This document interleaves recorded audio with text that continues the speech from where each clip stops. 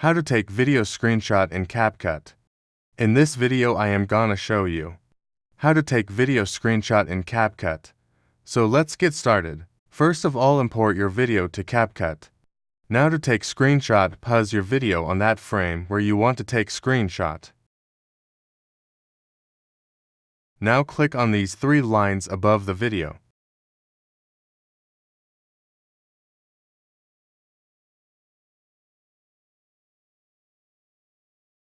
Then click on the Export Still Frame option. Now select Resolution, File Type Dot and click on Export.